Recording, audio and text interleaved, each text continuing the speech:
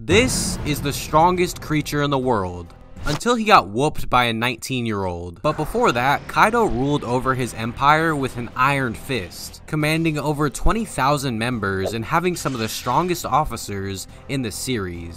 Starting off, 100 Beast Kaido is the Governor General of the Beast Pirates. He is an overwhelming force whose existence is largely based on Darwinism, the belief that the strong survive and the weak will fall, and that is exactly how the Beast Pirates are structured. No matter what race, belief, or goals you have, if you're strong, Kaido respects you. But to understand why Kaido thinks this way, we have to go back 59 years ago to the Vodka Kingdom. Kaido is an Oni, a rare type of human with thick skin and horns. Due to his special attributes, Kaido became the best soldier of his kingdom at the young age of 10. Since the Vodka Kingdom had to raid other nations for money, battle is all that Kaido knew. But with violence comes betrayal, and eventually, Kaido's own nation sold him to the government as their heavenly tribute. But being the monster that he is, Kaido easily said, fuck that, and was rewarded a bounty of 70 million. Kaido would get captured multiple times after this, but it was only because he wanted food. In fact, he's been captured 18 times in his life, and was sentenced to death 40 times. But when Kaido was to be hanged, the chain broke. When he was to be beheaded, the blade shattered and when he was to be impaled, the spears snapped. Kaido is one of, if not the most durable creature in the One Piece world. He may not be the strongest, but when you can only be damaged by the top 6 in the verse, that's saying something. Speaking of those top 6, Kaido would eventually be recruited by Whitebeard into the Rocks Pirates, a crew consisting of Whitebeard, Big Mom, Shiki, some other big names that I don't care about, and Rocks, Roger's greatest foe. Among them, Kaido was considered an apprentice, and throughout his time with Rocks, Kaido would build a sibling-like relationship with Big Mom, who actually saved his life. She did this by giving him the Uo Uo no Mi, model Seiryu, a devil fruit that allows Kaido to turn into a fucking dragon as if he wasn't overpowered enough. However, the Rocks Pirates would not hold for long as their teamwork was ass. They were defeated and disbanded at God Valley. After the fall of Rocks, Kaido kept building a reputation for himself in the Grand Line. The actual formation of the Beast Pirates wouldn't come until years later when he recruited his first mate, a Lunarian. Lunarians are basically fire angels on steroids, and for this reason, Kaido recruited the individual named Alber. But then he was like, no, your name is King now. And that's how the Beast Pirates were formed. During this time, Kaido would have a daughter named Yamato as well. But then he was like, no, you're my son now. And that's how an abusive relationship is formed. Kaido would go on to invade the land of Wano and claim it as his territory. However, 10 samurai weren't really happy about that, Wano being their home and all. One of those samurai, named Oden, was one of the only people to actually mortally wound Kaido, a feat thought impossible at the time. However, Oden got distracted and in a moment of weakness, he was swiftly defeated. Now, all of these shenanigans, including the Yamato stuff, would come back to bite Kaido in the ass later, but we'll get to that. In the meantime, the Beast Pirates kept building up, from mad scientists to former CP9 agents. But after seeing all of his contemporaries die in a glorious way, Kaido wanted the same. That is why Kaido's goal is to one day bring about a war that will throw the world into chaos. This will not only bring about the end of society, but the end to his life as well. To do this, he had to build up an insane force with the most powerful creatures on the planet, which brings us to the Beast Pirates themselves. The Beast Pirates consist of over 20,000 members and were allied with other organizations. As stated before, the crew's hierarchy is built entirely on strength. The lead performers, or the All-Stars, are the three strongest members of the crew right under Kaido himself. They consist of King, the second strongest right under Kaido, Queen, one of the best scientists in the world, and Jack, who, despite being a fruit user, can still survive underwater due to him being a fishman. Below the All-Stars are the Tobi Roppo. They consist of two teenagers, a former CP9 agent, bad bitches, and former captains of pirate crews. Under the Tobi Roppo are the headliners, but to talk about them, we need to get into the main focus of the Beast Pirate.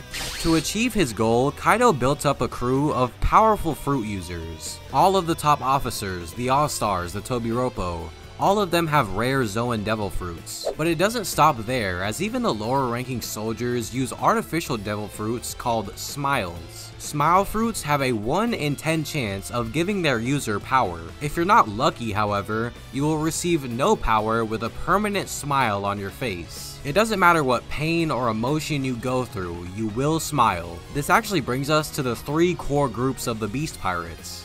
The Waiters, those who are waiting for a Smile Fruit, the Pleasures, those who were unlucky with their fruit, and the Gifters, those who were granted Zoan powers.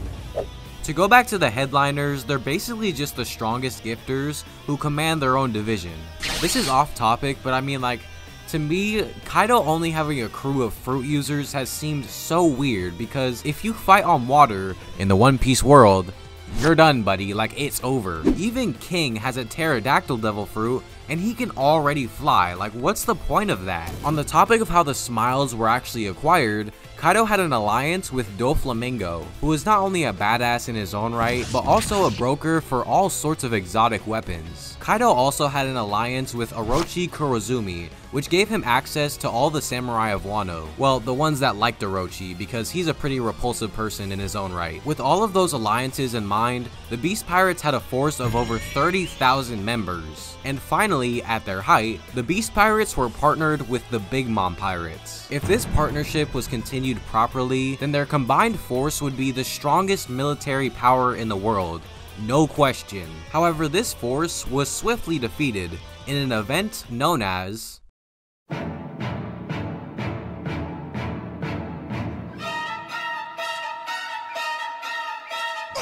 the raid of Onigashima. Remember all the samurai stuff that I mentioned earlier? Well, yeah, that finally caught up to Kaido. 20 years ago, Kaido took complete control of Wano by defeating Oden and all of his vassals. However, the vassals were transported 20 years into the future by Oden's wife, Toki. The Wano of the present day is nothing like it used to be. Kaido had destroyed villages, built factories over them, polluted water, and enslaved citizens. So the vassals, led by Kinemon, set out to find powerful warriors to aid in their revenge against Kaido. And after a lot of getting hoed, Kinemon eventually ran into the Straw Hats and Law on Punk Hazard. Luckily, at the same time, Luffy and Law made an alliance to take down Kaido as well. To quickly summarize, 10 years of storytelling, Doflamingo gets clapped by Luffy, the Straw Hats go to Zou and create the Ninja Pirate Mink Samurai Alliance, Luffy makes Big Mom mad which causes her to side with Kaido, and finally on Wano,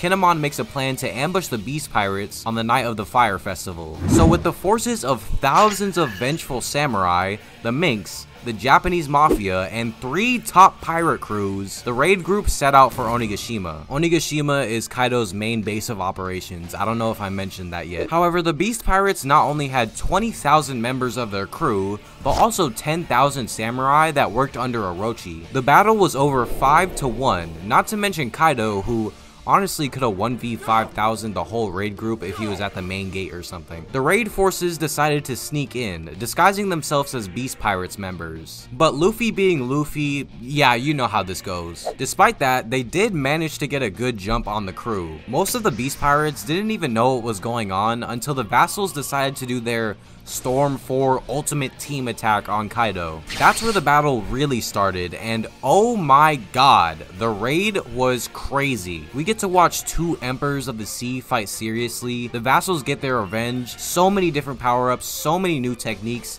and it, it's just all so amazing. Roof Piece by itself is basically just the culmination of 10 years of storytelling. Putting aside my personal opinions though, for most of the battle, the Beast Pirates did have the upper hand. That is, until the MVP of the raid decided to show. Many people will say that it was Luffy, Momo, Yamato, but no.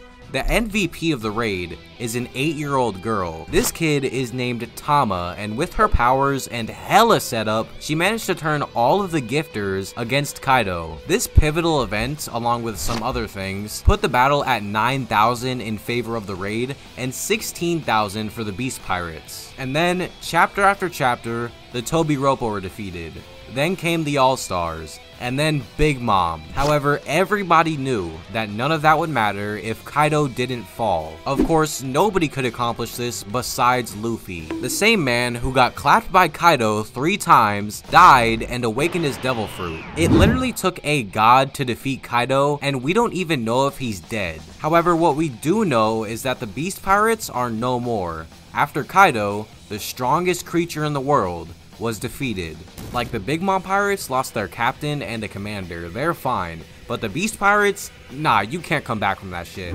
Honestly, the Beast Pirates are probably my second favorite Yonko crew, and it's mostly because they had a whole 4 year arc to get fleshed out, but I don't know, some of these designs are cold as fuck. I mean, Kaido is literally 2,400 pounds of straight muscle, and King Bro, oh my gosh. Mask on or mask off, this dude looks fucking fire. No pun intended, but he's also black, so, you know, that gets extra points from me. Jack, Queen, and the Tobiroppo are awesome as well. I mean, Queen is just an example of like an Oda type character where his design is very goofy, but Coupled with his personality, it makes an amazing character. And the fights that all of these characters had, I mean seriously, I cannot wait for Zoro versus King to be animated. And the panel in Act 1 where Kaido one-shots Luffy with a Thunder Bagua, that, I don't know, it just...